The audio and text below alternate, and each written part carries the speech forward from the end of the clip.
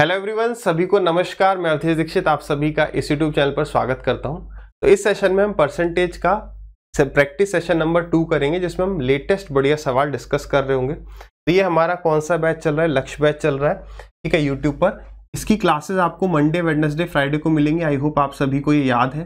Class का जो timing हम रखेंगे that will be ten A ठीक है? अब ये क्लास आपको लाइव भी मिल सकते हैं रिकॉर्डेड भी मिल सकती हैं।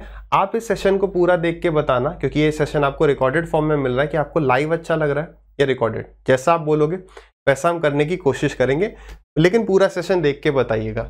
ठीक है? अगर हम बात करें इन क्वेश्चंस की, जो भी हम यहाँ डिस्कस कर रहे होंगे, वो आपको हमारे टेलीग्राम चैनल पर मिल जाएगा।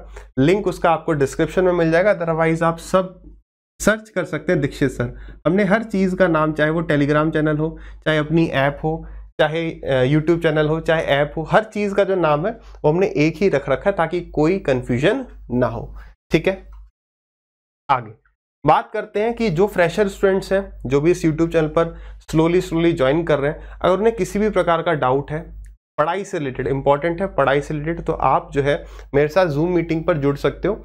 ये हम संडे एवरी संडे को रखने की कोशिश करेंगे अदरवाइज़ हर दो हफ़्ते में एटलीस्ट एक संडे को तो हम करेंगे ही करेंगे। अभी जो है वो फोर्टीन अगस्त को ये हम मीटिंग रख रहे हैं मॉर्निंग टेन एम पर। कैसे आप इसे ज्वाइन कर सकते हो? तो दो स्टेप हैं केवल, वैसे एक ही स्टेप है कि केवल आपको प्ले स्टोर पर जाके दीक्षित सर सर्च कर लेना है तो दीक्षित सर ऐप को डाउनलोड कर लेंगे। जैसे ही आप ऐप को ओपन करेंगे तो जो फ़र्स्ट यहाँ पर आपको होम पेज पे स्टार्टिंग में ही दिखेगा, वहाँ पर आपको जूम मीटिंग का लिंक दिख जाया करा करेगा। बस क्लिक हियर कर लेंगे गिवन डेट और टाइम पर, ठीक है?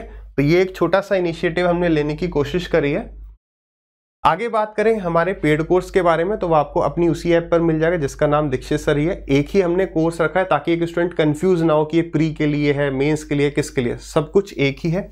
एक ही कोर्स है जो कि आपको एक बार में मिल जाएगा। इंपॉर्टेंट बात अभी ये है कि हम इसे अभी अपडेट कर रहे हैं। एक एक टॉपिक जो है धीरे धीरे करके अपडेट होगा। अभी लेकिन हमारा परसेंटेज अपडेट हो चुका है, लेकिन अपलोड नहीं हुआ है। अपलोड ना होने का कारण सिर्फ़ इतना है कि हम ऐप में कुछ चेंजेस करवा रहे हैं तो वो मैक्सिमम से मैक्सिमम मैं अगर आपको टाइम लिमिट बताऊँ तो वो एक हफ़्ते में हो जाएगा। फिर आप जो है, उस दौरान आप कोर्स को देख सकते हैं परचेज भी अभी कर सकते हैं तो आप जो पुराने लेक्चर्स हैं आप उनको अभी डेफिनेटली देख पाएँगे। अगर आपका एग्ज़ाम जल्दी है, आपको जल्दी सिलेबस करना है तो आप अपडेट होने की वेट ना करिए, आप पढ़ने लगिए, ठीक है? जो हमारा कंटेंट आपको ऐप पर मिलने वाला है, वो रेलेवेंट भी होगा अपडेटेड भी होता जाएगा, साथ ही साथ इंपॉर्टेंट ओल्ड सवाल भी उसके अंदर रहेंगे। यानी पुराने जो बढ़िया सवाल प्रीवियस ईयर्स में आए हम उनको भी रखेंगे। साथ ही साथ पेपर टॉपिक या पेपर चैप्टर का कंसेप्ट भी हमने ऐप पर रखा है सो so दैट आपको एक या दो टॉपिक ही देखने हैं कि कैसा पढ़ाया गया तो आप देख सकते हैं कंटेंट पे हमने बहुत मेहनत करी है। साथ ही साथ ये फीचर बहुत अच्छा है that is one day free trial आपको ऐप पर आके पूरा कोर्स आप देख सकते हो, आपको सिंगल रुपी पे करने की ज़रूरत नहीं। ठीक है? तो मैं हमेशा कहता हूँ, पहले इस्तेमाल करें, फिर विश्वास करें। बड़ी बड़ी बातें मैं सीधे नहीं कह सकता कि भाई तुमने कोर्स पढ़ी खरीद लिया तो आपके कंधे पे तीन स्टार पक्के आप पहले आराम से कोर्स देखो, फिर डिसाइड करिए। ठीक है? चलिए तो परसेंटेज का हम practice session number two start करते हैं। पहला सवाल ये रहा आपके सामने, आप पहले एक बार सवाल को ट्राई करिए। स्टॉप वॉच आपके सामने रहेगी।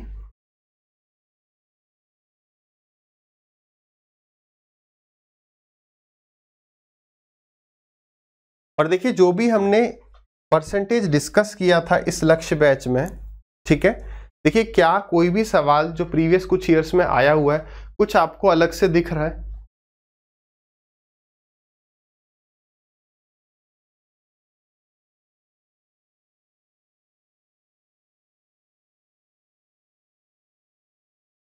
आई होप डिस्कस कर सकते हैं सफिशियंट टाइम है। देखिए क्वेश्चन कह रहा है the price of a commodity increases by 28 percent however the expenditure on it increases by 12 percent what is the percentage increase और डिक्रीज इन इट्स कंजम्पशन तो प्राइस इनटू कंजम्पशन बराबर होता है एक्सपेंडिचर तो सवाल में उसने हमें चेंज किस पे दिया है? उसके प्राइस में। तो प्राइस 28 परसेंट बढ़ गया है और हमारा जो एक्सपेंडिचर है, वो बढ़ गया है 12 परसेंट। पूछा कंजम्पशन पर चेंज बताओ। तो ऐसे सवाल को हम डायरेक्ट करते थे कैसे? कि 100 से प्राइस 128 हो गया और कंजम्पशन जो है वो 100 से 112 हो गया। सॉरी एक्सपेंडिचर जो है वो 100 से 112 हो गया। तो कंजम्पशन पर क्या चेंज होगा? सीधे यहाँ से यहाँ जाना है, ठीक है? तो कम करना है या इंक्रीज करना है? तो आपने कहा कि हमें डिक्रीज करना है, कम करना है। कितना कम करना पड़ रहा है? 16 तो 16 की कमी कितने पर? 128 पर। तो 100 पर कितनी? That is percentage change 16 eight जा 128 यानी 1 बाई एट इंटू में 100 इज़ आवर आंसर अब बताओ भाई 1 बाई एट कितना होता है? साढ़े बारह। तो साढ़े बारह परसेंट आप देखते इस पर टिक कर सकते हो। क्या मैंने आपको नहीं बताया है?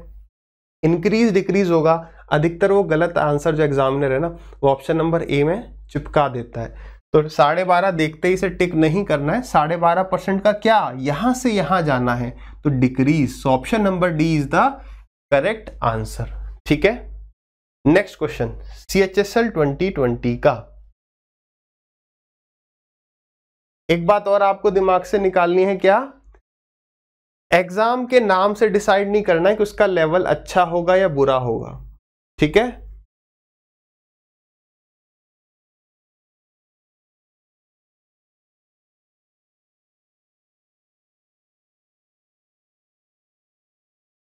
अच्छा सवाल है ये। केवल कैलकुलेशन डाल रहा है आजकल एग्जामिनर देखो correct to two decimal places तो बस कैलकुलेशन है।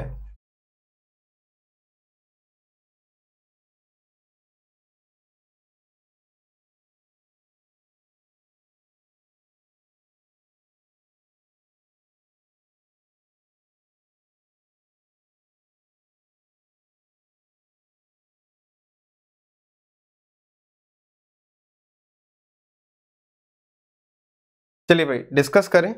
देखिए, कईयों का आंसर अभी नहीं आया होगा, कोई टेंशन वाली बात नहीं है। आप सवाल को ट्राई करिए वीडियो को पॉज करके, ठीक है? क्योंकि सवालों के साथ जब तक आप लड़ाई नहीं करेंगे फाइट नहीं करेंगे, तब तक कोई फ़ायदा नहीं है। इस बात को समझो कि अभी अगर मैं लेटेस्ट सवालों की बात करूँ तो उसमें एग्जामिनर क्या कर रहा है? लैंग्वेज के साथ छेड़खानी कर रहा है लैंग्वेज को चेंज कर रहा है लैंग्वेज को ट्विस्ट कर रहा है। तो लैंग्वेज अगर चेंज करता है तो आप उसे तभी कर पाएँगे जब आपके कंसेप्ट क्लियर हैं बेसिक से कर पाएँगे। देखे दिखाए सवाल आने की प्रोबेबिलिटी कम है। हल्का सा बस लैंग्वेज में चेंज करना है और काफ़ी सारे स्टूडेंट्स उसमें फंस जाते हैं। अगर हम इस सवाल को देखें सवाल बहुत आसान है लेकिन बस जैसे जैसे ये कह रहा है ना वैसे करते हुए चलना है। जैसे the income of A is 40 percent less than that of B if A gets 25% rise in his income and B gets 40% rise in his income, then the percentage increase. Correct to two decimal places अब correct to two decimal place मतलब examiner चाह रहा है कि मैं थोड़ी सी calculation करूँ। यही छोटे छोटे चेंजेस है। कैलकुलेशन में वो फंसाता है और लैंग्वेज में। ठीक है, आपको कहीं नहीं फंसना है। छोटी छोटी सी कैलकुलेशन है। In the combined incomes of A and B will be अब देखो, पहला तरीका। अब पहला तरीका का मतलब दूसरा भी होगा। तो सर, कौन सा बेस्ट तरीका है? तो मेरे भाई बेस्ट तरीका नाम की कोई चीज़ नहीं होती है। अब मैं इस सवाल पे समय दूँगा तो मैं कहूँगा, यार, ये वाला तरीका बेस्ट है। एग्ज़ाम में बेस्ट तरीका वो होता है जो पहले क्लिक कर जाए। तो इन केस आपने वो सवाल पहले नहीं देखा है तो आपको पहले कौन सा तरीका क्लिक करेगा? बेसिक ठीक है? तो देखो, कह रहे ए की जो इनकम है, वो बी से 40 परसेंट कम है। 40 परसेंट का मतलब कितना होता है? टू बाई फाइव यानी बी की इनकम अगर फाइव है तो ए की दो कम, यानी कि तीन हो गई। ठीक है?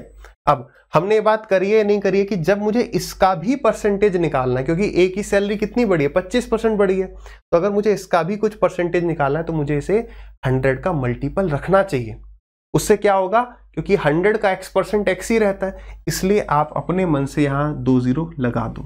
क्योंकि ये तीन और पाँच के रेशियो में है तो यहाँ पर भी वही चेंज करना पड़ेगा। रेशियो का सबसे पहला रूल है, हमने नेक्स्ट टॉपिक में डिस्कस भी किया है रेशियो अगर आपने रिकॉर्डिंग नहीं देखी है या अगर आपने पूरा कंटेंट नहीं देखा है रेशियो का तो आप देख लो, लक्ष्य बैच में आपको मिल जाएगा। ठीक है? तो दोनों तरफ़ चेंज कर दिया। अब इसको कितने परसेंट बढ़ा है 25 परसेंट पच्चीस परसेंट का मतलब वन बाई फोर तो डेढ़ सौ आधा हो गया, उसका भी आधा पिचहत्तर। तो ए की इनकम हो जाएगी नहीं तीन सौ पिचहत्तर। अच्छा बी की इनकम कितने परसेंट बढ़ाई है? चालीस परसेंट। तो दस परसेंट हो गया पचास तो चालीस परसेंट हो जाएगा दो सौ तो बी की इनकम हो गई सात सौ। तो कंबाइंड चेंज कितना हुआ?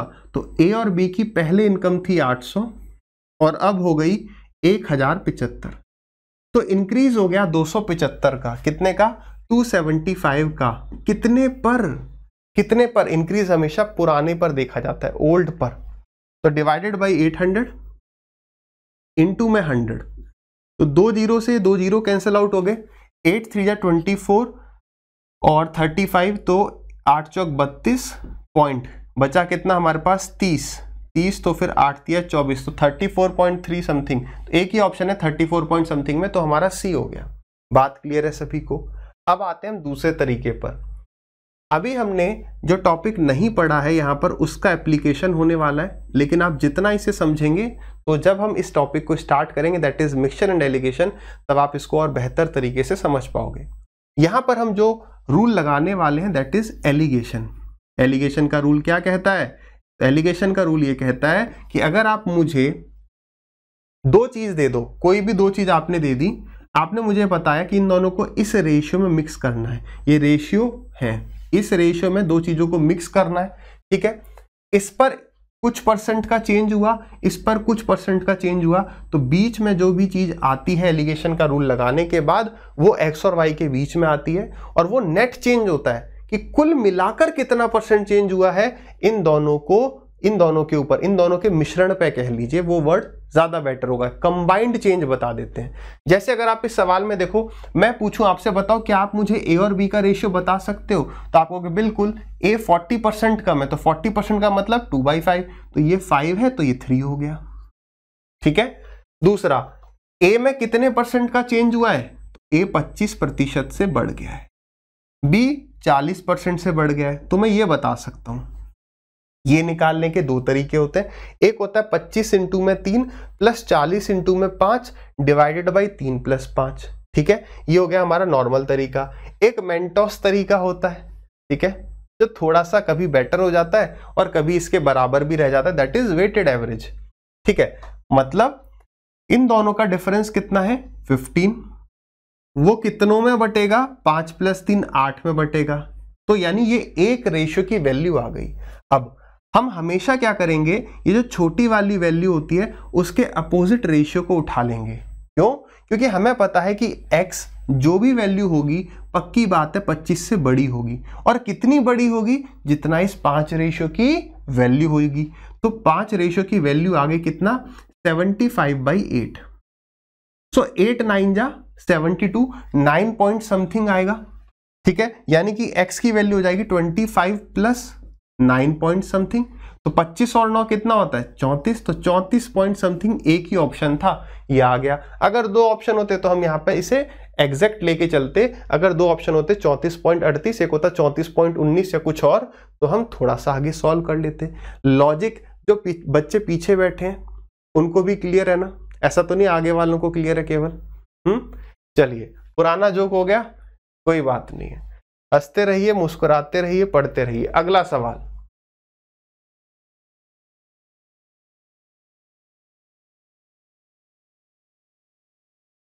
सवाल को समझिए। एमटीएस में पूछा गया सवाल है।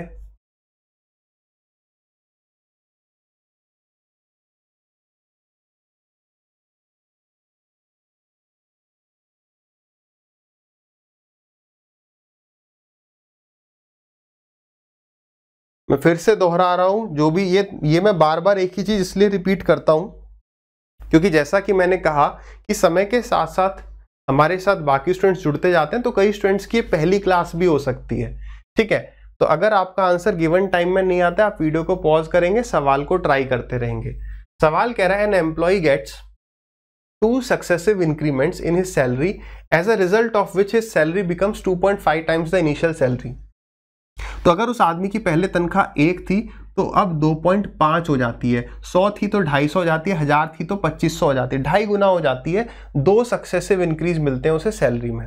तो बताइए what was his first percentage increment if the second percentage increment was four times as high as the first तो अब चीज़ों को समझते हुए चलें क्योंकि मैं ये आशा कर रहा हूँ कि आपने परसेंटेज वो सारा पढ़ लिया जो मैंने पढ़ा है।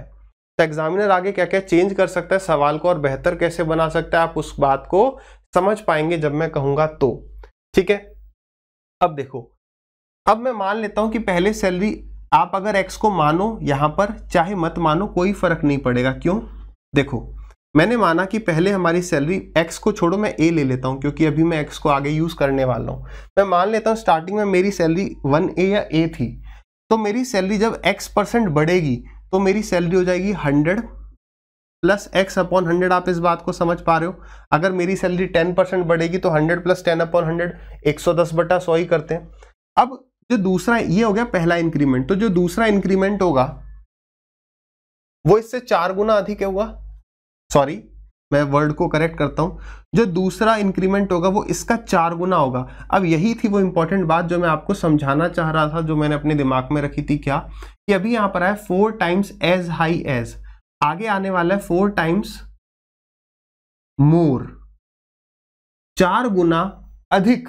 चार गुना अधिक का मतलब वन रेशियो फाइव अगर ये एक्स है तो वो फाइव एक्स होगा. ये कई बार एग्जामिनर यूज़ कर चुका है, चाहे वो टाइम एंड वर्क हो, चाहे प्रॉफिट लॉस हो, वहाँ पर. फोर टाइम्स और फोर टाइम्स मोर चार गुना और चार गुना अधिक. ये गलती हो जाती है, इससे बच के रहना है. मैं कितनी बार भी बताऊँ, फिर भी स्टूडेंट से गलती होगी बट आपको बचना है. ठीक है? तो यहाँ पर आ जाएगा अभी four X upon hundred and this is equal to 2.5 times of A तो ये ए जो है, यहाँ से इस ए से कट जाएगा। तो आप वन और 2.5 भी मान सकते हो, आगे कटना ही कटना है रेशियो आने वाला है। अब यहाँ पर एक बात आप नोट डाल के लिखेंगे कि हमें ऑप्शंस का इस्तेमाल कब करना चाहिए। बहुत इंपॉर्टेंट है। बहुत सारे स्टूडेंट्स जिनको एक एक साल भी हो जाता है ना तैयारी करते वक्त, वो डिसाइड नहीं कर पाते कि हमें ऑप्शन से कब जाना चाहिए। मैं आपको सीधे तीन स्टेप्स बता देता हूँ, या तीन रूल बताता हूँ, इसके अलावा चौथा रूल है नहीं। आपका रूल पहले ही बना हुआ ना चाहिए, आपको पहले ही डिसाइडेड रहना चाहिए कि यार इस केस में ये मेरा प्लान ऑफ़ एक्शन रहने वाला है।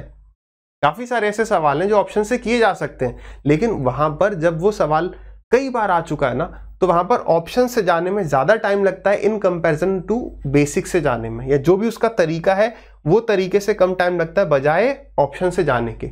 इसलिए हमें एक रूल रखना चाहिए कि यार कब ऑप्शन से जाना है, कब नहीं जाना है, कब डायरेक्ट सॉल्व करना है। तो बहुत आसान सा तरीका है, सबसे पहला रीजन रहता है, जब हम ऑप्शन से जा रहे होते हैं दैट इज़ क्वाड्रेटिक इक्वेशन जब भी सवाल में मुझे क्वाड्रेटिक इक्वेशन बनते हुए दिखती है, मैं ट्राई करता हूँ कि मैं ऑप्शन से चले जाऊँ। क्यों? देखो यहाँ पर क्वाड्रेटिक बन जाएगी। देखो x इन टू में एक्स एक्स स्क्वायर बनेगा ही बनेगा। तो हम चले गए यहाँ पर कैसे? ऑप्शन से। लेकिन यहाँ पर एक कैच है, छोटा सा। क्या? देखो, अगर केवल मैं कहूँ कि एक्स स्क्वायर बराबर थर्टी सिक्स तो यहाँ पर हम नहीं बचेंगे। यहाँ पर तो मैं इसे सॉल्व कर जाऊँगा एक्स बराबर सिक्स या प्लस माइनस सिक्स कह लो। लेकिन जब हो जाएगा x square plus six x इस तरह की क्वाड्रेटिक इक्वेशन यहाँ पर स्टार मार्क करके नीचे लिख भी लेंगे कि इस तरह की क्वाड्रेटिक इक्वेशन में हम ऑप्शन से जाते हैं। ऐसी इक्वेशन में जहाँ एक्स स्क्वायर बराबर थर्टी सिक्स हो, वहाँ पर हम सॉल्व कर जाते हैं। डन है? तो यहाँ पर आप देखोगे, जब यहाँ पर हंड्रेड को बाहर भी ले लोगे तो हंड्रेड प्लस एक्स इंटू में हंड्रेड प्लस फोर एक्स होगा। तो एक बार एक्स हंड्रेड से मल्टीप्लाई होगा तो तुरंत मुझे एक्स मिल गया ना।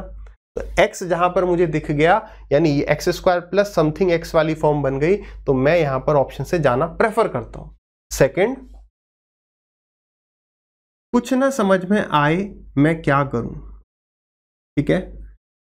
कुछ ना समझ में आए मैं क्या करूँ? और तीसरा रीजन रहता है कैलकुलेशन जहाँ पर कैलकुलेशन बहुत ज़्यादा होती है, वहाँ पर हम कोशिश करते हैं कि ऑप्शन के यूनिट डिजिट से काम बन जाए, या फिर फैक्टर अप्लाई करके काम बन जाए। मैं आगे आपको ये चीज़ें बताते रहूँगा क्लास में, या फिर जब हम प्रैक्टिस कर रहे होंगे तब।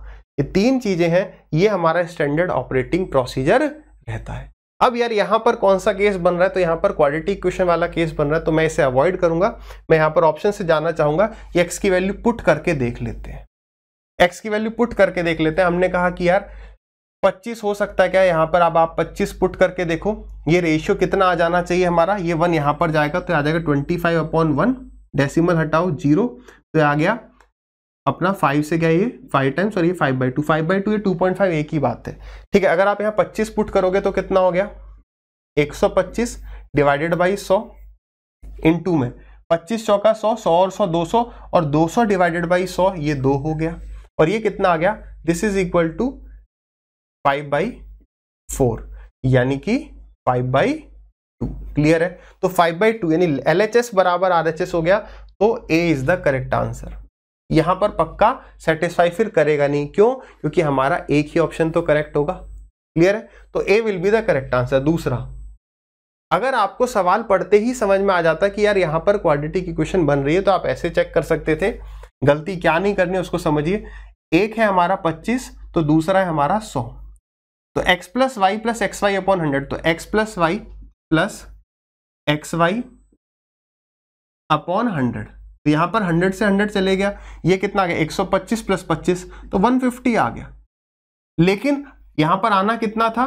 कहा था? टू पॉइंट फाइव था ना? टू पॉइंट फाइव टाइम्स था।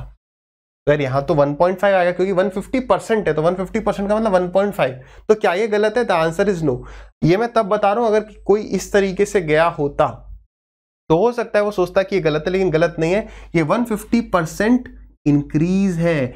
सक्सेसिव वाले फॉर्मूले से हमें क्या मिलता है? प्रतिशत बदलाव परसेंटेज चेंज तो अगर 150 परसेंट इंक्रीज हुआ है तो इसका मतलब 250 परसेंट हो गया है। 100 परसेंट तो वो खुद है तो 2.5 टाइम्स हो गया। सो सवाल बहुत बढ़िया है, बहुत अच्छा है, ठीक है? चलिए। अच्छे सवालों पर हम समय इन्वेस्ट अवश्य करेंगे।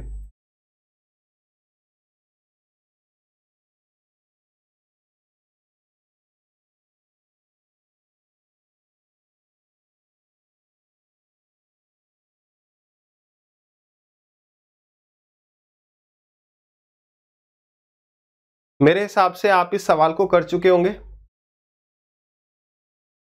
अगर आपने परसेंटेज के सारे सेशन देखे हैं तो। कुछ नहीं यहाँ पर क्या कह रहा है? 16 टू बाई थ्री परसेंट का इंक्रीज हो गया रेडियस में ठीक है? तो पूछ रहा सरफेस एरिया में चेंज बता दो। तो यहाँ पर क्या है? आपको स्फीयर का फॉर्मूला अगर सरफेस एरिया का नहीं भी आता है अगर आपको नहीं भी आता तो आपको हमने क्या बात डिस, डिस्कस करी थी वैसे आना चाहिए क्योंकि जब आप सिलेबस कंप्लीट करके जाओगे उस समय पर तो आपको पता होगा कि फोर पाई आर स्क्वायर ठीक है? तो फोर पाई जो है वो तो कांस्टेंट रहता है, बदल रहा है रेडियस तो इसलिए हम केवल रेडियस को देख रहे होते हैं फॉर्मूला नहीं भी पता होता तो काम चल जाता है, ठीक है?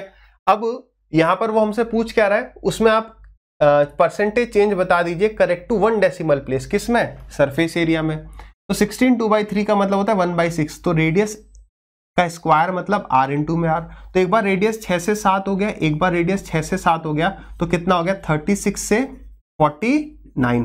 कितना परसेंटेज चेंज हो रहा है? कितना इंक्रीज हो गया? थर्टीन का। कितने पर? थर्टी सिक्स पर। तो सौ पर कितना? चार से गया पच्चीस बार, चार से गया नौ बार। तो तेरह पंजे पैंसठ, तेरह दूनी छब्बीस छब्बीस और छः बत्तीस। तो तीन सौ पच्चीस divide by nine nine three या ट्वेंटी सेवन पचपन। पचपन तो nine six fifty four thirty six point something एक ही ऑप्शन है, खत्म।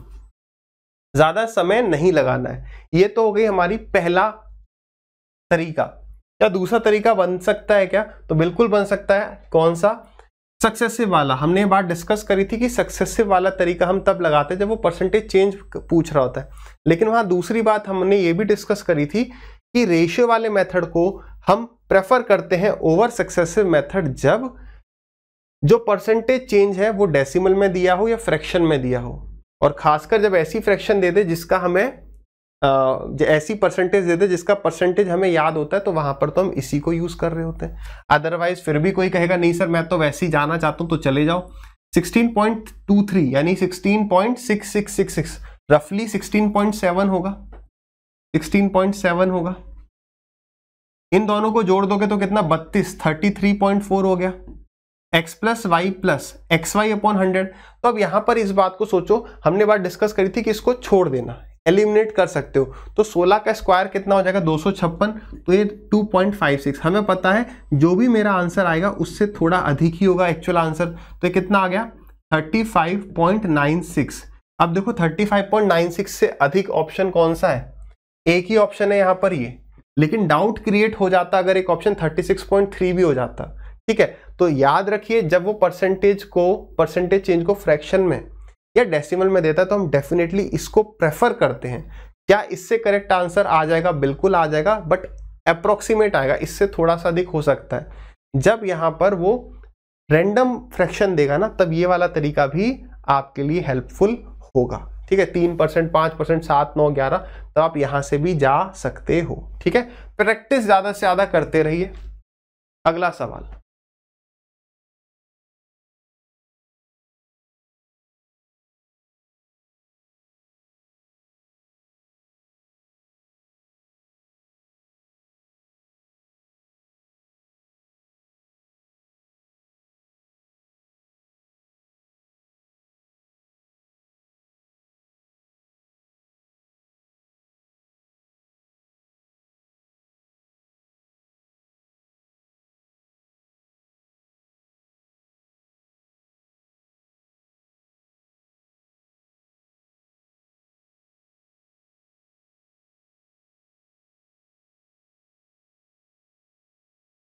हो गया होगा।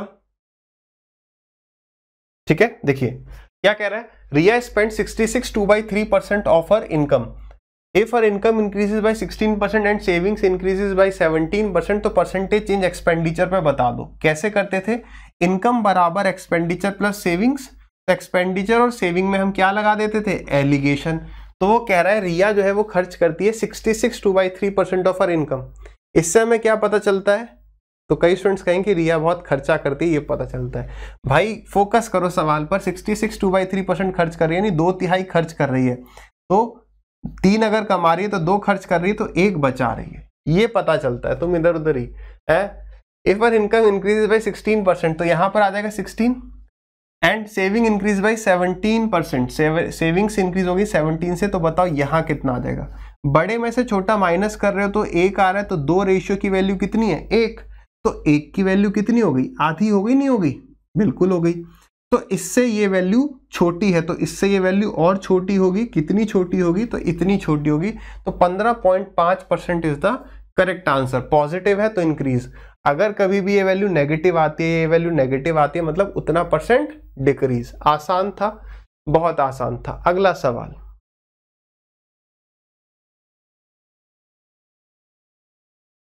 हाँ बहुत बढ़िया सवाल है। बहुत बढ़िया सवाल है। इस सवाल को मैं सीधे डिस्कस करवाऊँगा। जिनको भी ट्राई करना है वो वीडियो को पॉज करके ट्राई करिएगा। ठीक है? इस सवाल से आपको बहुत सारी चीज़ें सीखने को मिलेंगी। ठीक है? देखो क्या? सबसे पहले सवाल आ, सबसे पहले सवाल के बारे में बातचीत। ये वाला जो सवाल है ना ऐसा सेम सवाल कंपाउंड इंटरेस्ट में बनता है। आप ये मान लो कि कंपाउंड इंटरेस्ट का सवाल है और उसने उसे इस तरीके से कन्वर्ट कर दिया है। बेसिक बात यह है। अब यहाँ पर और भी कुछ बातें हैं जो इंपॉर्टेंट है। कई बार आपको लोग ऐसे सवालों को ऑप्शन से भी करवा देंगे। लेकिन, देखो ऑप्शन से आपको तभी जाना है जब आपको कोई और ऑप्शन नहीं मिल रहा। मतलब कोई और तरीका मिल ही नहीं रहा है सॉल्व करने का। मैं आपको समझाता हूँ कि ऑप्शन से किस तरीके से सवाल गलत होते हैं। उसका रीजन लॉजिक आपको पूरा का पूरा ये सवाल दे देगा। बेहद ही इंपॉर्टेंट सवाल है। लर्निंग परस्पेक्टिव से। ठीक है? आ जाइए। देखो, सवाल क्या कह रहा है? The price of an article increases by 20 percent every year if the difference between the price of the article at the end of the third year and at the end of the fourth year is तीन सौ चौबीस रुपए what is the price of the article at the end of the second year ये compound interest में सवाल अगर ये बनता, आप आगे कंपाउंड इंटरेस्ट भी पढ़ेंगे, जो पढ़ चुके होंगे वो इसको तुरंत रिलेट कर पाएँगे। तो सवाल कैसे आता है कि रेट ऑफ़ इंटरेस्ट जो है वो ट्वेंटी परसेंट है। चौथे साल का जो कंपाउंड इंटरेस्ट है और तीसरे साल का जो कंपाउंड इंटरेस्ट है उसके भी सॉरी अमाउंट जो है आ, क्योंकि ये कह रहा है ना the difference between the price of the article तो अमाउंट आफ्टर थर्ड ईयर और अमाउंट आफ्टर फोर्थ ईयर के बीच का जो अंतर है वो तीन सौ है। तो बताइए सेकंड ईयर के एंड में अमाउंट क्या होगी? ये उस तरह का सवाल होता। अगर आपने नहीं पढ़ा है सही चिंता की बात नहीं है। सवाल पर फोकस करते हैं। देखो अभी हम ये सीख रहे हैं, ये वाली बात तो बाद में सीखेंगे। अभी हम ये सीख रहे हैं कि ऑप्शन आपको किस तरीके से समझा दिए जाते हैं और आप कहाँ अटक सकते हो। तो रिसेंट एग्ज़ाम्स में आपको क्या चीज़ ध्यान रखनी है कि इस तरीके से सीधे ऑप्शंस को टेस्ट ना करें। कहाँ गलती हो सकती है, देखना ध्यान से। देखो स्टार्टिंग में मैं मान लेता हूँ कि किसी वस्तु का प्राइस पी था तो एक साल के बाद कितना हो जाएगा? सिक्स बाई फाइव पी दूसरे साल के बाद सिक्स बाई फाइव और फिर तीसरे साल के बाद और एक बार six by five six by five और चौथे साल के बाद सिक्स बाई फाइव तो सवाल कह रहा है कि चौथे साल के बाद जो प्राइस होगा और तीसरे साल के बाद जो प्राइस है, उसी का अंतर दिया हुआ है है ना? बात सही है। तो जब आप सीआई पढ़ लोगे, आपको ये रिज़ल्ट सीधे याद रहेगा, कोई बड़ी बात नहीं है कि आप इसमें इस पार्ट को कॉमन ले सकते हैं। ले सकते हो, नहीं ले सकते? जब आप इस पार्ट को कॉमन ले लोगे, यानी ये, ठीक है? तो आपको क्या मिल जाएगा? तो आपको मिल जाएगा यहाँ पर।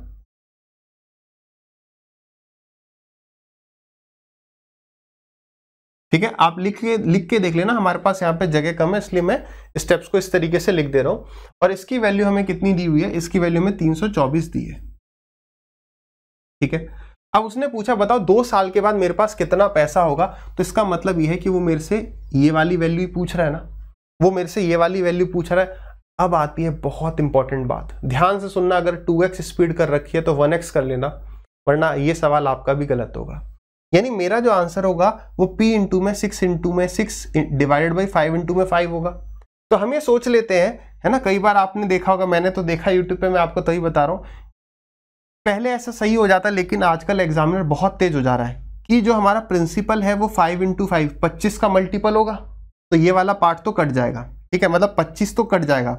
हमारा कोई भी ऑप्शन डेसिमल में नहीं है। तो फाइव फाइव या ट्वेंटी फाइव ट्वेंटी फाइव से ट्वेंटी फाइव का कोई मल्टीपल होगा तो ये कट जाएगा। तो यानी मेरा जो आंसर होगा, वो सिक्स इंटू में सिक्स यानी थर्टी सिक्स का मल्टीपल होगा।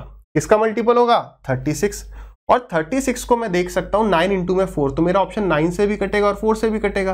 अब 4 का डिविजिबिलिटी रूल क्या है? तो 4 का डिविजिबिलिटी रूल है। सारे डिविजिबिलिटी रूल हम स्टार्टिंग में डिस्कस कर चुके हैं, देखना क्लास के बीच में कहीं पर। इसलिए सारी क्लासेस देखो स्किप मत करो। तो फोर मतलब आखिरी के दो डिजिट चार से कटेंगे। ये कट रहा है, नहीं कट रहा है। ये कट रहा है, नहीं कट रहा है। ये कट रहा है, बिल्कुल कट रहा है। ये कट रहा है, बिल्कुल कट रहा है। अब नौ से कटना चाहिए, यानी डिजिट सम नौ से कटेगा। अब ये दोनों ऑप्शन तो गलत है, क्योंकि ये चार से नहीं कट रहे। तो छः दो, आठ, एक, नौ, ये करेक्ट है। आठ, नौ, दस, ये इनकरेक्ट है। यानी इस हिसाब से सी करेक्ट होगा। लेकिन इसका करेक्ट आंसर क्या था? इसका करेक्ट आंसर ये था। इसका करेक्ट आंसर ये था। तो अब अब समझो कि ये हम ऑप्शन से अगर करते, हम कुछ भी नहीं देखते ना, हम कुछ भी नहीं देखते तो सीधे केवल यहाँ पर आते और हम कह देते ऑप्शन 36 से कटेगा। लेकिन उसमें क्या गलती है, उस बात को समझते हैं। है ना? कल को ऐसा आ जाए, एक सवाल ऐसा आ गया था सीआई में, इसलिए ऐसी बात मैं बता रहा हूँ कि ये ऑप्शन ये वैल्यू ऐसी दी गई थी, जो 25 से कट रही थी प्रिंसिपल ठीक है? तो आंसर 36 से कटने वाला करेक्ट था। लेकिन यहाँ पर समझो, अब एग्जामिनर क्या कर रहा है? देखें, चलो, इसे सॉल्व ही कर लेते हैं तो आप खुद समझ जाओगे एग्जामिनर क्या कर रहा है। हमें क्या करना है? अगर हमें यहाँ पर आपको पी की वैल्यू बताऊँ तो देखो,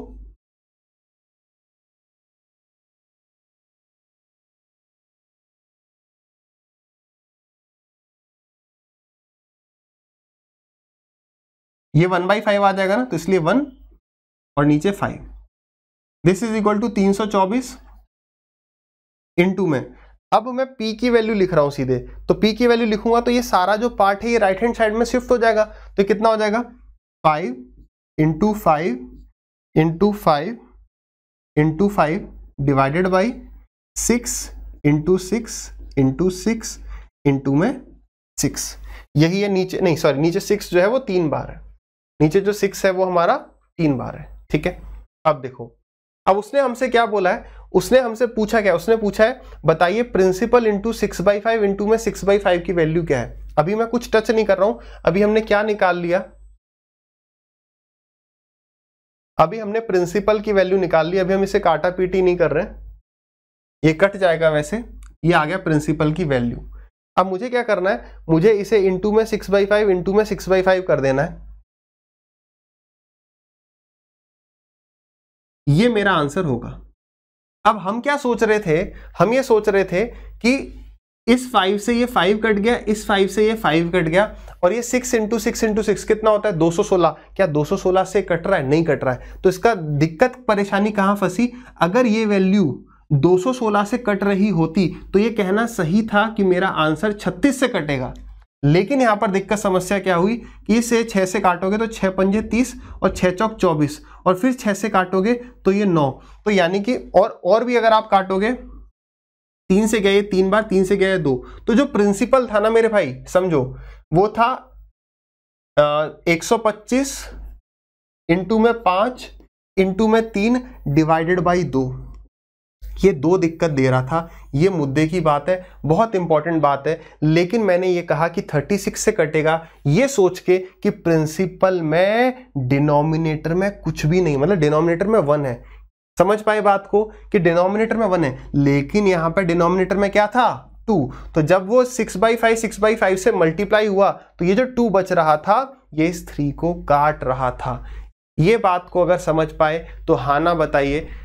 ये मैंने इतनी सारी बातचीत ना, मैं चाहता तो एक मिनट में बता के आगे बढ़ता, लेकिन ये इसलिए बताया कि अगर ऑप्शन से आपके दिमाग में ये आया कि यार 36 से कटेगा तो ये बात को समझना एग्जामिनर इस पी को कैसा भी दे सकता है।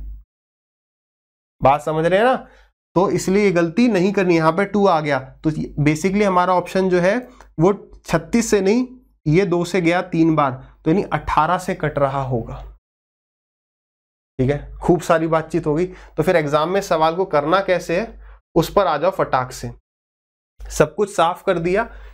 सीधे हमने देखा यहाँ पर, तीन साल का जो अमाउंट है या तीन साल के बाद वो ऑब्जेक्ट जितने का हो जा रहा था और चार साल में जितने का हो रहा था, उसका अंतर 324 है। तो जब आप सी वगैरह पढ़ लोगे, आप सीधे लिख पाओगे six by five six by five six by five ये वाला तो कॉमन आ जाएगा। और ब्रैकेट में क्या आएगा? Six by five minus one तो वन बाई फाइव आ जाएगा। ठीक है। इसकी वैल्यू कितनी दी है? 324 दी है। यहाँ तक आ गए। उसने पूछा क्या है? ये पूछा है ना। तो इस तो प्रिंसिपल को क्यों मैं निकालूँगा उसने तो यही पूछा है, दो साल के बाद वो ऑब्जेक्ट कितने की हो रही थी? तो इसकी वैल्यू निकालो, इसको टच मत करो, बाकी सब वाले पार्ट को राइट में ले जाएँगे। केवल इतना ही करना है कॉमन सेंस लगा देना है। तो कितना हो गया? छह पंजे तीस और छह चौक चौबीस। चौबीस इंटू में पच्चीस। सॉरी फिफ्टी फोर इंटू में पच्चीस। तो चौवन इंटू पच्चीस कितना हो गया? पच्चीस चौका सौ, पच्चीस पंजे एक सौ, पच्चीस और दस एक सौ पैंतीस। तो वन थ्री फाइव ज़ीरो, यानी option number A is the correct answer. समझ पाए? अगर ये सवाल का जो भी हमने डिस्कशन किया वो आपको अच्छा लगा हो तो तुरंत अभी वीडियो को लाइक कर दो, वीडियो को रोक के। ठीक है? समझ पाए? तो ऑप्शन से सवाल करना कभी कभी बड़ा खतरनाक हो सकता है। आपको ये क्लियर होना चाहिए कि हम ऑप्शन से कब जाएँगे।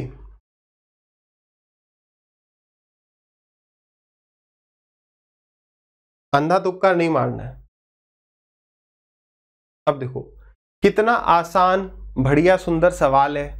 इसे वही कर पाएगा जो लैंग्वेज को समझेगा। अगर आप ये सोच रहे हो कि हम केवल रटे रटाए टाइप कर जाएँगे, एग्ज़ाम में बिल्कुल दिमाग नहीं लगाना पड़ेगा तो मेरे भाई, मैं आपको पहले ही बता दूँ कि आप गलत सोच रहे हैं। ठीक है?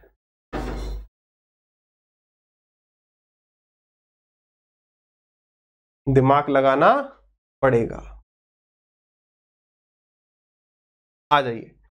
सवाल जैसे कह रहे वैसे करते चलोगे, बहुत आसान है। कह रहे, the price of petrol short up by, या shoot up by five percent यानी कि जो पेट्रोल का प्राइस है, वो पाँच परसेंट बढ़ गया ठीक है?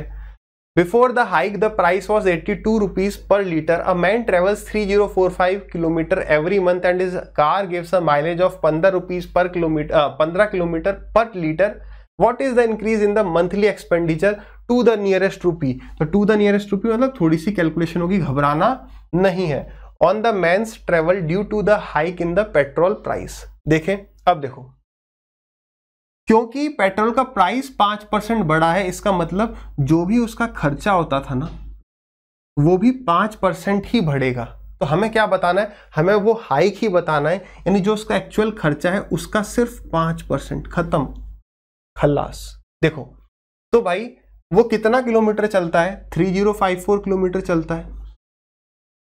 और उसकी जो गाड़ी है, वो माइलेज देती है पंद्रह का। अब ये मत बताने लगना कि कौन सी कार है, कोई भी हो सकती है। यानी उसका जो मंथली एक्सपेंडिचर है, इतने लीटर का है। और एक लीटर कितने का था? 82 का था। ये उसका पुराना खर्चा आ गया। सिर्फ़ और सिर्फ़ इसका पाँच परसेंट, यानी वन बाई ट्वेंटी निकाल। क्लियर? तो हमने काटा दो से दस बार और दो से फोर्टी वन टाइम्स अब फिफ्टीन से गया ये टू टाइम्स फिफ्टीन से अब आगे जा नहीं रहा और फिफ्टीन से गए थ्री टाइम्स अब दस से कट भी नहीं रहा है। अगर टू कट भी, अगर यहाँ पे टू होता तो कट भी जाता तो भी हम नहीं काटते। सीधे क्या करते? यहाँ पे टेन रहने देते। मल्टीप्लाई कर दीजिए। क्या नहीं करना है? कि इस 41 को 40 मारने लग रहे हैं? हो सकता है कि जल्दी हो जाए बट अगर ऑप्शन क्लोज होंगे तो दिक्कत हो जाएगी। ज़्यादा टाइम नहीं लगेगा। 203 क्रॉस फोर ज़ीरो एट। आ गया कितना? Eight two four three divided by ten. आठ सौ चौबीस रुपए इज़ द करेक्ट आंसर नहीं आया। एक सेकंड दो सौ तीन इंटू में चार। चार तीन बारह होता है। कैसे लिख दिया? पता नहीं, कोई बात नहीं है। है ना? दो, तीन, आठ और यहाँ पर तीन। तो आठ सौ बत्तीस रुपए। Eight thirty two rupees is the correct answer correct है ना? चलिए, आगे बढ़ते हैं अगले सवाल पर।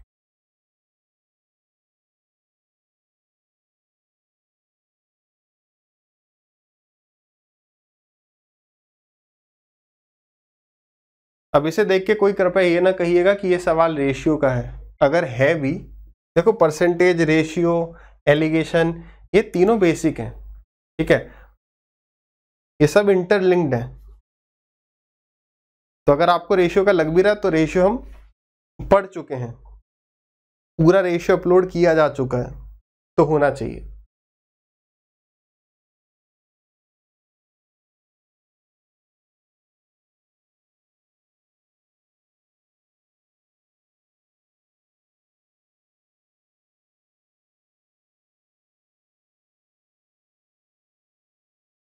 चलिए डिस्कस करते हैं। देखो, हो सकता है आप कैलकुलेशन में अटक रहे हो, आप ट्राई करते रहिए। कैलकुलेशन से बाहर निकलने का एक ही तरीका है। आप सिंप्लीफाई करिए चीज़ों को। फालतू में कैलकुलेट हर चीज़ को मत करिए। जहाँ पर जो चीज़ कॉमन आ सकती है ना कैलकुलेशन करने स्ट्रॉन्ग करनी है, एक तो सिंप्लीफाई करिए, दूसरा टेबल से याद करिए, बस। प्लस माइनस आना चाहिए। जैसे कह रहे हैं, वैसे करते चलो बस। 11 by five of a number is 22 percent तो 11 by five of a number A is 22 percent of B तो मुझे यहाँ से ए और बी का रिलेशन मिल जाएगा। 11 से गया ये दो बार और दो से गया ये 50 बार और पाँच से गया ये 10 बार।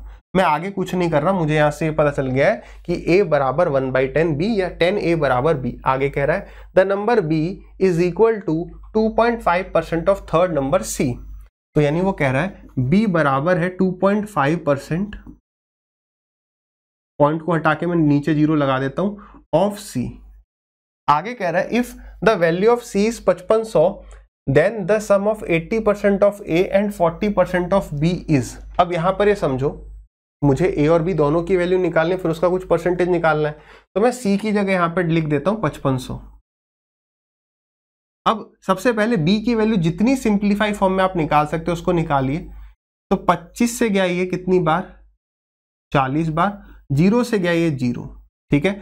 दो से गया ये दो बार और दो से गया ये आपका पाँच बार। ठीक है? मतलब ज़ीरो को मैं ऐसे काटता हूँ फिफ्टी फाइव इंटू में टेन ठीक है? तो दो से गया ये पाँच बार। ऐसे, इस ज़ीरो को काट देता हूँ मैं पाँच बार। तो यानी बी की वैल्यू कितनी आ गई? तो फाइव फाइव या twenty five five five twenty five plus two two seventy five by two ये बी की वैल्यू आ गई। तो इसका मतलब ए की वैल्यू क्या हो जाएगी? बस इसको टेन से डिवाइड कर दो। तो A is equal to 275 divided by 20 अब बिल्कुल भी हाथ मत लगाओ। क्यों? क्योंकि यहाँ पर हम 275 बाई टू को कॉमन ले लेंगे काटा पीटी नहीं कर रहे। Then the sum of 80 percent of A तो 80 परसेंट ऑफ़ ए यानी कि 8 by ten A plus four upon ten forty percent of B सही है? क्या कॉमन लिया जा सकता है? तो फोर बाई टेन को कॉमन ले लेते हैं। तो ये आ गया फोर बाई टेन तो ब्रैकेट में क्या बच जाएगा आपका? ब्रैकेट में बच जाएगा आपका टू ए प्लस बी। अब बस दो सौ पिचहत्तर बटा दो को कॉमन ले लो। तो यहाँ पर आ गया मतलब ए और बी है ना ये? तो यहाँ पर आ गया दो सौ पिचहत्तर, वरना आप अपने हिसाब से जैसे कैलकुलेशन करते हो वैसे कर लो, ठीक है? तो यहाँ पर बचा कितना? ये बच गया आपका वन बाई टेन। तो ए की जगह आ जाएगा वन बाई टेन और बी की जगह आ जाएगा वन, ठीक है? बस इसको सॉल्व कर देंगे। तो ये कितना आ गया? ये आ गया आपका वन बाई फाइव यानी ये पूरा आ गया सिक्स बाई फाइव ठीक है? कुछ काटा पीटी नियरेस्ट कह रहा है ना? ठीक है। तो नियरेस्ट कह रहा है तो दो से कटा ये दो बार, और पाँच से गया ये कितनी बार? फाइव फाइव ट्वेंटी फाइव और फाइव फाइव ट्वेंटी फाइव ठीक है? तो ये हो गया आपका छह दूनी बारह। अच्छा पाँच से और कट रहा है। पाँच से ये ग्यारह बार, और दो। ये ये तो पूरा आ गया एग्जैक्ट आ गया। एग्जैक्ट ही आ रहा है सिक्सटी सिक्स ठीक है? कोई यहाँ पर correct to one decimal place नहीं था। 66 आ गया। मेन बात क्या थी? मेन बात थी यहाँ पर सिंप्लीफाई करने की। वैल्यू देखो कितनी गंदी आ रही है। तो हमें ऐसा लग सकता है कि मैं कहीं ना कहीं गलती कर रहा हूँ। ठीक है? बट विश्वास के साथ आगे बढ़ते जाना, सही कर रहे हैं तो सही कर रहे हैं। इस टाइप के सवाल अब आ रहे हैं कि हमें खुद ही लगे कि हम कहीं पर गलती से मिस्टेक कर रहे हैं। अगला सवाल।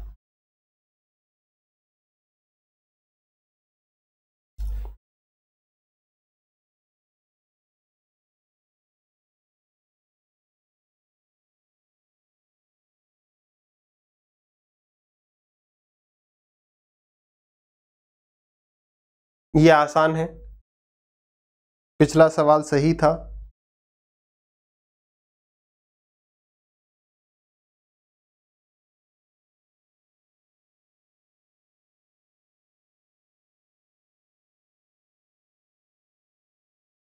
करें डिस्कस? देखो, सवाल कह रहा है person salary was decrease by fifty percent and subsequently increase by fifty percent and then again increase by hundred percent how much percentage does he lose और गेन तो आप इसे दो तरीके से कर सकते हो। या तो आप इसे रेशियो से कर जाओ कि 50 परसेंट का मतलब होता है वन बाई टू तो दो से एक बार एक हो गई और एक बार दो से तीन हो गई। और 100 परसेंट इंक्रीज मतलब एक से दो। तो दो से ये दो कट गया, हमने बात डिस्कस करी थी काटा पीटी कर सकते हो। यानी सैलरी जो है वो दो से तीन हो गई तो कितना इंक्रीज होगी? फिफ्टी परसेंट दो से तीन। अदरवाइज़ आप ऐसे भी कर सकते थे कि यहाँ पर पहले माइनस फिफ्टी है, फिर प्लस फिफ्टी है, फिर प्लस में हंड्रेड है। चॉइस आपकी है। तो यहाँ पर क्या होगा? एक्स प्लस वाई तो कट ही जाएगा, हमेशा एक्स स्क्वायर बाई हंड्रेड आता है यहाँ पर लॉस तो ये हो जाएगा आपका माइनस का ट्वेंटी फाइव यहाँ पर अगर आप अप्लाई करते तो कितना आ जाता? X plus y seventy five minus x y upon hundred choice आपकी है, दोनों जगह से 50 परसेंट आएगा। यहाँ पॉजिटिव आ रहा है, यानी 50 परसेंट गेन 50 परसेंट गेन एक ऑप्शन दे सकता था 50 परसेंट लॉस स्टार्टिंग में, और ये वाला ऑप्शन आखिरी में। ठीक है? चलिए, अगला सवाल।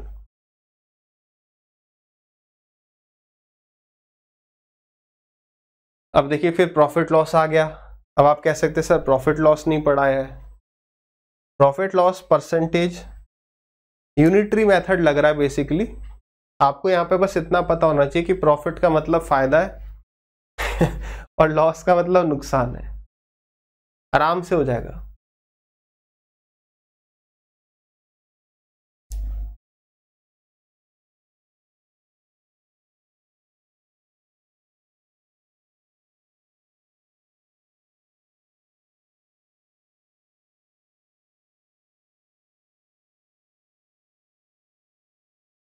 जो ट्राई कर रहे हैं, वो ट्राई कर सकते हैं अदरवाइज़ आप यहाँ देखिए। देखो, मैंने आपको एक चीज़ बताई है, हमेशा ना आप अपने रूल्स सेम रखिएगा। ऐसा नहीं कि कभी हम कोई चीज़ अप्लाई कर रहे हैं, कभी कोई चीज़। देखो, यहाँ पर भी वैसे ही शुरुआत करते हैं। A tea seller use to make 50 percent of the profit by selling tea at nine rupee per cup when the cost of ingredients increased by 25 percent, he started selling the tea at 10 rupee per cup. What is his profit percentage? Now हुआ क्या कि मान लो कि वो उसका जो ingredient थे, वो जो भी उसका कॉस्ट प्राइस था, वो जितना भी खर्च करता था, वो एक रुपए था। ठीक है फिफ्टी परसेंट का मतलब क्या होता है? वन बाई टू ठीक है, एक नहीं मानना पड़ेगा यहाँ पर, हम मान लेते हैं टू ठीक है, कि वो दो रुपए में कुछ चीज़ कोई चाय तैयार करता था और उसको तीन रुपए का बेचता था। कितने का परसेंटेज का प्रॉफिट हो गया? फिफ्टी परसेंट का प्रॉफिट हो गया। बेसिकली हमें इस तीन की जो वैल्यू दी हुई है, वो नाइन दी हुई है। ठीक है? क्योंकि जो सेलिंग प्राइस है, वो नाइन है। तो यानी तीन रेशियो की वैल्यू नाइन हो गई। तो तीन की वैल्यू नाइन है। तो एक की वैल्यू कितनी? एक की वैल्यू तीन। यानी बेसिकली वो छह रुपए की चाय मतलब बनाता था, ये छह रुपए की चाय उसको पड़ती थी, जो वो नौ रुपए में बेच देता था। आगे क्या होता है? When the cost of ingredient increased by 25 percent अब 25 परसेंट का मतलब क्या हो गया? वन बाई फोर इंक्रीज हो गया। तो सिक्स से जो प्राइस है, वो सिक्स इंटू में फाइव बाई फोर हो गया। मैंने इस बात की चिंता नहीं करी कि यार इसका जो वन फोर्थ है, वो कितना होगा? डेढ़ रुपया होगा तो मैं डेढ़ इसमें जोड़ू। मत जोड़ू। भाई पच्चीस परसेंट बढ़ गया तो इंटू में एक सौ पच्चीस बटा सौ हो गया। आप एक सौ पच्चीस बटा सौ को क्या लिख सकते हो? पाँच बटे चार। तो वो कह रहा है, अब वो जो चाय है, वो उसको दस रुपए का बेच रहा है। यानी कि अब वो इतने रुपए की चीज़ को इतने का बेचा है तो फ़ायदा नुकसान बताओ। एग्जैक्ट वैल्यू क्यों निकालना? आप सीधे इनका अनुपात ले लो। इसको मत सॉल्व करो कि ये कितना है। एग्जैक्ट वैल्यू मत निकालो। दो से गए दो बार, दो से गए तीन बार, पाँच से गए दो बार। तो ये कितना आ गया?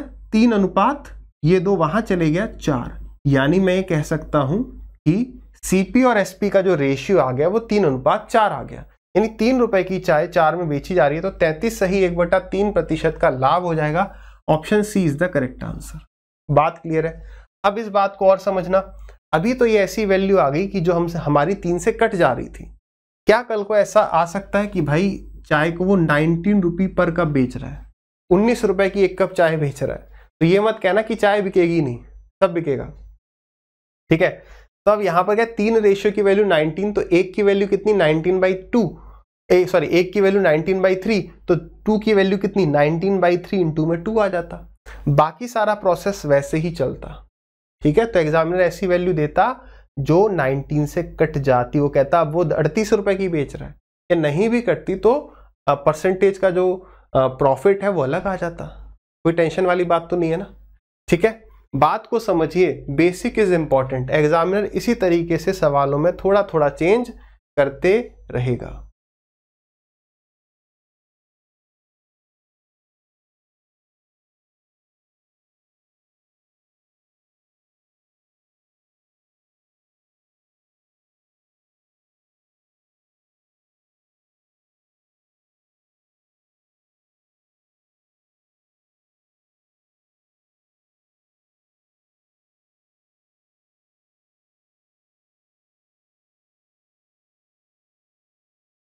करें। करें in a factory of 400 employees the ratio of the number of male employees to the to that of female employees is 5 ratio 3 there is 87.5 percent regular employees in the factory if 92 percent of male employees are regular employees, then what is the percentage of regular female employees? अब देखो, यहाँ पर ना इस value को बिना use किए भी आप सवाल को कर सकते हैं। हमें क्या चाहिए? हम यहाँ एलिगेशन लगा रहे हैं। हमें ये पता है कि मेल और फीमेल का जो रेशियो है कंपनी में वो पाँच और तीन के रेशियो में ठीक है? इसमें से इसमें से 87.5 परसेंट मतलब पूरे 100 परसेंट में से 87.5 परसेंट रेगुलर एम्प्लॉयज़ हैं। तो रेगुलर एम्प्लॉय बन कैसे रहे होंगे? मेल और फीमेल को मिलाने से। तो वो कह रहा है कि इसमें से 92 परसेंट मेल एम्प्लॉय रेगुलर है। तो जो फीमेल होंगी वो डेफिनेटली 87.5 परसेंट से कुछ कम होंगी। और इनको फाइव और थ्री के रेशियो में मिलाने पर मुझे ये प्राप्त हो रहा होगा। ठीक है, अब आप देख लो 87.5 से कम। सभी ऑप्शन है एक्सेप्ट दिस तो सॉल्व कर लेते हैं। बड़े में से छोटा माइनस करो। कितना आ गया? ढाई और दो। ढाई और दो, साढ़े चार। तो तीन रेशियो की वैल्यू साढ़े चार है। तो एक की वैल्यू डेढ़ हो गई। एक की वैल्यू डेढ़ तो पाँच की वैल्यू साढ़े सात हो गई। इससे ये वैल्यू छोटी है। तो इससे ये वैल्यू छोटी होगी कितनी? कितनी? तो यानी 87.5 माइनस सेवन पॉइंट फाइव यानी 80 percent is the correct answer correct है? कौन सा option option number A is the correct answer ठीक है? आसान था। ये सवाल भी बहुत आसान है। इसमें हम एक छोटी सी चीज़ को डिस्कस करेंगे।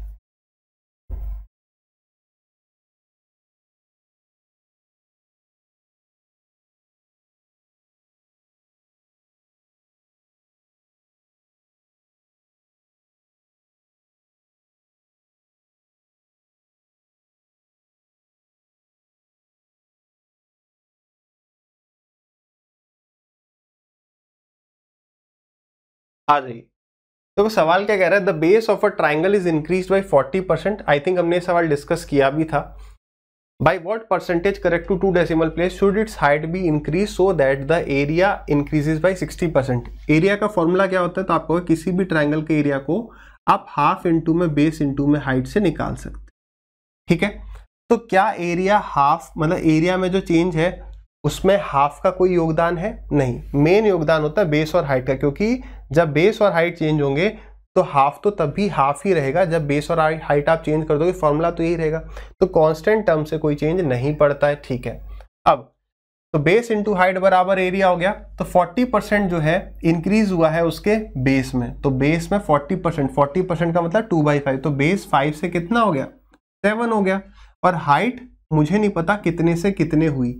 लेकिन जो एरिया है वो 60 परसेंट से बढ़ गया है। तो 60 परसेंट का मतलब मैं लिख देता हूँ 10 से 16 अब भाई 60 परसेंट का मतलब थ्री बाई फाइव होता है। तो पाँच से आठ, नहीं तो अगर तुरंत नहीं क्लिक कर रहा तो दस और सोलह कर दो, वो तो कट ही जाएगा। फ्रैक्शन लिखना कोई बड़ी बात नहीं है, ठीक है?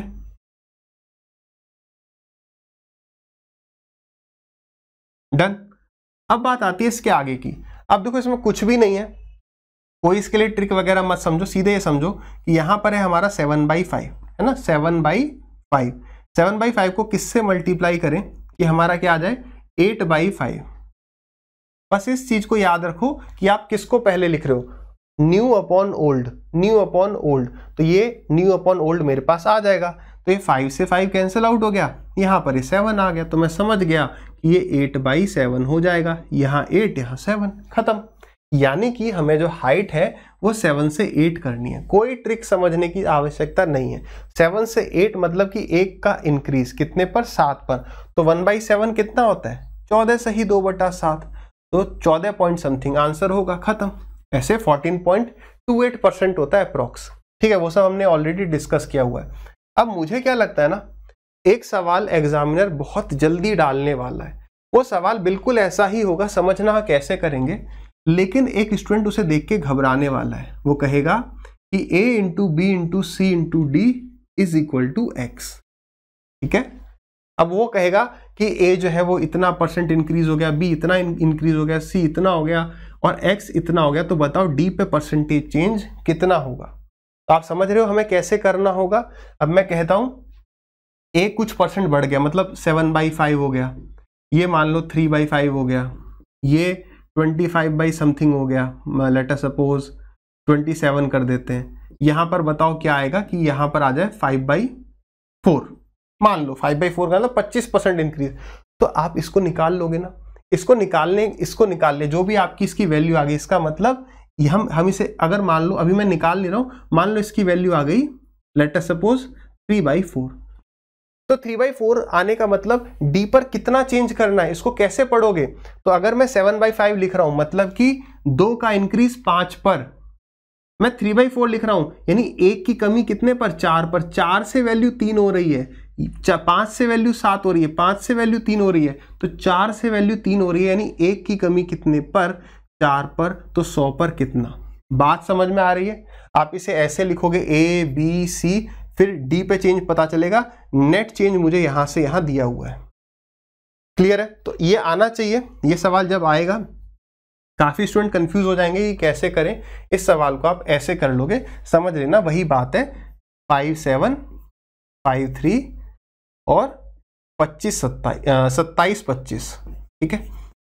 इसको मल्टीप्लाई कर लोगे, यहाँ मल्टीप्लाई कर लोगे और फिर कर देंगे। डन चलिए तो ये हो गया अगला सवाल। अब ये सवाल जो है, हम एक ही तरीके से डिस्कस करने वाले हैं। लास्ट सेशन में भी ये सवाल डिस्कस किया था। हर बार एक सवाल को हम डिटेल में डिस्कस नहीं करने वाले। पुराने सेशंस नहीं देखे हैं तो पहले उनको देखेंगे। टाइम बस इतना ही सफिशियंट है। ठीक है? कैसे करते थे? प्राइस जो है एक आइटम का 20 परसेंट से कम हो गया है, जिस वजह से एक आदमी जो है दो केजी अधिक खरीद पा रहा है तीन रुपए में। ओरिजिनल प्राइस बताइए। अब तीन सौ वो लेके जा रहा है, क्योंकि प्राइस कम हुआ है, तब उसके पास इसका ट्वेंटी परसेंट यानी इतने रुपए बचेंगे। और इतने रुपए में अब दो केजी आइटम आता है, यानी अभी जो है एक केजी इतने का मिलेगा। वो अभी अभी का प्राइस पूछता तो छत्तीस आंसर होता जो कि ये दिया हुआ है कि मैं गलती कर जाऊँ। लेकिन कह रहा है पुराना प्राइस बताओ तो ये ट्वेंटी परसेंट कम होने के बाद है तो ट्वेंटी परसेंट का मतलब होता है वन बाई फाइव तो फाइव से फोर हो गया यानी कि ये फोर रेशियो की वैल्यू है और पाँच की बता देनी है खत्म। ठीक है? तो पाँच इंटू में दो, दस हो गया और फोर नाइन जा थर्टी सिक्स हो गया और नाइन फाइव जा फोर्टी फाइव हो गया। Option number A is the correct answer correct है? अगला। सवाल को पढ़कर हम जब तक चीज़ों को नहीं समझेंगे एग्जामिनर हमें मूर्ख बनाता रहेगा। ये उसका एक और जीता जागता तो एग्ज़ाम्पल नहीं है है ना? क्योंकि ये सवाल नॉन लिविंग है। तो एक आपके सामने मरा हुआ एग्ज़ाम्पल है, ठीक है? निर्जीव और सोता हुआ।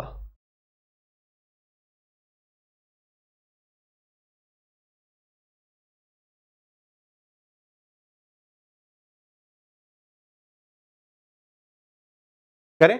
देखो यार, कह रहा एक वर्कर जो है हैज़ एन इंक्रीज ऑफ़ साढ़े बारह परसेंट इन हर वेजेस तो उसकी जो सैलरी है, उसके जो पर घंटे के चार्जेस हैं, वो साढ़े बारह परसेंट से बढ़ गए हैं। लेकिन टेन परसेंट का कमी आ गई है उसके आवर्स में, जितने वो हर हफ़्ते काम करता था, उसमें टेन परसेंट की कमी आ गई है। If her original weekly wages for a week of forty hours is अड़तीस हज़ार चार सौ then the percentage increase in total weekly wages is अब पता है आपको उसने ये सब हमें मूर्ख बनाने के लिए दिया हुआ है। इस सबको बिना यूज़ किए हम आंसर निकाल सकते हैं। क्यों? क्योंकि एक घंटे में मुझे जितने पैसे मिल रहे हैं, इनटू में जितने मैं घंटे काम कर रहा हूँ दैट इज़ इक्वल टू क्या दे रहा है? मतलब वेजेस पर घंटे का पैसा इंटू जितने घंटे काम कर रहा हूँ, बराबर टोटल पैसा। बात सही है। तो अगर आप मुझे इस पर चेंज दोगे, इस पर चेंज दोगे तो मैं इस पर चेंज बता सकता हूँ सक्सेसिव से, नहीं तो डंडे वाले मेथड से। तो बस वो यही कह रहा है कि भाई, इस पर चेंज दे दिया, इस पर चेंज दे दिया, इस पर पूछा है। इस सब की ज़रूरत नहीं है। इस वाली वैल्यू की, ध्यान से मेरी बात को समझना, इसकी वैल्यू की ज़रूरत पड़ती अगर वो मेरे से पूछता, बताओ, नई सैलरी कितनी है? नया उसको जो पैसा मिल रहा है, अब कितना पैसा मिल रहा है? तो मैं वहाँ पर यूज़ करता इस रुपए को इनटू में दिस इनटू में दिस मतलब फ्रैक्शन से मल्टीप्लाई करते हैं। ठीक है? बात क्लियर है? लेकिन यहाँ पर उसने परसेंटेज चेंज पूछा तो मैं यहाँ पर सक्सेसिव यूज़ कर जाऊँगा, इस सब का कोई यूज़ नहीं करने वाले। तो साढ़े बारह इंक्रीज हो रहा है तो प्लस का साढ़े बारह और टेन माइनस का तो एक्स प्लस वाई कितना हो गया? टू पॉइंट फाइव फिर इन दोनों को मल्टीप्लाई कर दो अपॉन हंड्रेड कर दो। तो टेन इंटू में two point five sorry twelve point five divided by hundred तो ज़ीरो से ज़ीरो चले गया। इस ज़ीरो से ये 1.25 हो जाएगा। तो 2.5 point five minus one point two five is one point two five लेकिन यहाँ पर ये परसेंटेज में तो आप चाहे तो इसको अवॉइड भी कर सकते हैं। चॉइस आपकी है। साढ़े बारह परसेंट हमें पता है वन बाई एट होता है तो आठ से नौ और टेन परसेंट तो टेन से नाइन यानी कि हमारी जो सैलरी है या पैसे हैं वो 80 से इक्यासी हो रहे होंगे। तो एक का इंक्रीज 80 पर तो 100 पर कितना? खत्म। तो ज़ीरो से ये ज़ीरो चले गया। ठीक है? दो से गया ये चार बार, दो से गया ये आपका पाँच बार। तो four by five by four यानी वन पॉइंट टू फाइव तो ऑप्शन नंबर ए करेक्ट है। आप कैसे भी जा सकते हैं। देखो, मैं क्या कह रहा हूँ, मैं आपको सिर्फ़ राह बता सकता हूँ। कौन सा चुनना है, वो एग्ज़ाम में आप ही को देखना है। ज़्यादा से ज़्यादा प्रैक्टिस करो, आपके मन से आवाज़ आने लगेगी कि ऐसे जाऊँ या ऐसे। कोई एक फिक्स तरीका नहीं होता है, ठीक है? करेक्ट है? अगला सवाल।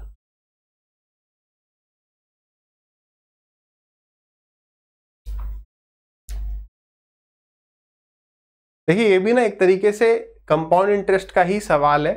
अब एग्जामिनर क्या करने लग गया लैंग्वेज को थोड़ा सा घुमाने लग गया है, हमें अटकाने के लिए। ठीक है? बेसिक भी एक बार मैं डिस्कस करूँ कि यहाँ तक हम कैसे पहुँचे।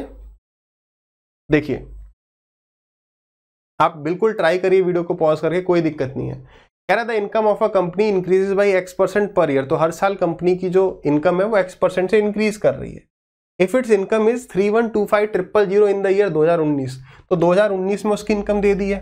और 2017 में उसकी इनकम दे दी है। तो आपको बताना है what is the value of X तो समझ रहे हो ना कि एक, दो, तीन, चार, पाँच छ इंटू अगर एक्स परसेंट का इंक्रीज हो रहा है तो into hundred plus X upon hundred फिर से मल्टीप्लाई करोगे hundred plus X upon hundred और इसकी वैल्यू बराबर है किसके? Three one two five three one two five triple zero के। अब यानी मैं ये कह सकता हूँ कि 100 प्लस एक्स अपॉन हंड्रेड का स्क्वायर। ये बराबर होगा किसके? Three one two five triple zero divided by दो के पीछे छह ज़ीरो। ठीक है? तो अब इस बात को समझो यहाँ पर। अब मैं यहाँ पर क्या एक्स स्क्वायर मुझे दिख रहा है तो क्या मैं यहाँ पे क्वाड्रेटिक इक्वेशन देख के मैं यहाँ पर ऑप्शन उठाऊँगा? आप ये कह लो कि हाँ ना, दोनों है। ठीक है? मुझे पता है कि इसका स्क्वायर ये है तो इसको मैं सॉल्व करता हूँ। कंपाउंड इंटरेस्ट जैसे ही आप पढ़ लोगे ना, आपको तुरंत लगेगा ये तो सीआई का सवाल है। यहाँ पर इसका स्क्वायर ये किसी का एक परफेक्ट स्क्वायर होगा, मुझे बस वहाँ तक पहुँचना है, क्योंकि इसको मैं ऐसे देखता हूँ कि अगर यहाँ पर एक्स की वैल्यू टेन होती तो पैसा सौ से एक सौ दस हो रहा है। ठीक है? ये पक्का किसी का परफेक्ट स्क्वायर है। एग्ज़ाम में आप ये पूरा तामझाम नहीं करेंगे। एग्ज़ाम में आप सीधे देखोगे कि अच्छा इसको दो बार किसी एक फ्रैक्शन से एक भिन्न से मल्टीप्लाई किया गया, ये है वो फ्रैक्शन। तो दो बार है तो स्क्वायर है तो मुझे ये वाली वैल्यू मिल रही है। तो इन दोनों का जो रेशियो है, वो पक्का किसी एक फ्रैक्शन का परफेक्ट स्क्वायर होगा। अब आप काट के देखिए। काटे 25 से कट रहा है तो 25 से गया ये आठ बार। 25 अट्ठे दो सौ तो ये आ गया अस्सी बार। और 25 से 1000 जाता है आठ बार। तो आठ है चौबीस सॉरी सॉरी सॉरी 25 से 1000 जाता है 40 बार तो चार तिया बारह। 120 तो वो हो गया, और 120 के बाद पाँच 125 हो गया। ठीक है? पाँच से गया ये 25 बार, और पाँच से गया ये 16 बार। अब 25 बटा 16 किसका परफेक्ट स्क्वायर दिख रहा है? फाइव बाई फोर का दिख रहा है। तो this is equal to five by four का स्क्वायर यानी कि हर एक साल, यानी इसकी जो वैल्यू है वो फाइव बाई फोर आ गई। तो मतलब मैं इसे ऐसे पढ़ूँगा कि मेरे रुपए जो है चार से पाँच हो जाते हैं एक साल में। यानी एक का इंक्रीज हो रहा है पाँच पर तो सौ पर कितना? ये आपको और क्लियर होगा जब हम सिंपल इंटरेस्ट और कंपाउंड इंटरेस्ट पढ़ेंगे। अदरवाइज़ अभी भी अगर आपको बिल्कुल चुन्नी सा भी डाउट है तो आप इसे ऐसे सॉल्व कर लेना। Hundred plus X upon hundred इसकी वैल्यू हमारे पास फाइव बाई फोर आ गई। चार से पच्चीस बार चले गया, पच्चीस पंजे एक सौ पच्चीस। तो x की वैल्यू कितनी आ गई? Twenty five so twenty five एक सेकेंड हाँ चलो। अच्छा हुआ कि हमने सॉल्व कर लिया, ठीक है? क्योंकि चार से पाँच हुआ है ना तो वन बाई फोर होना था ना? क्योंकि ये लाइव नहीं है। मैं बता के निकल जाता, फिर आपके कमेंट आते कि, सर 25 आंसर अच्छा हुआ। जो होता है, अच्छे के लिए होता है। एक्स की value 25 percent one by four यानी 25 percent is the correct answer clear है? चलिए, आगे बढ़ते हैं। तो एंड हो चुकी है स्लाइड यहाँ पर तो इसी के साथ हम आज के सेशन को दी एंड करेंगे। आपको सेशन कैसा लगा प्लीज़ कमेंट करके बताइएगा।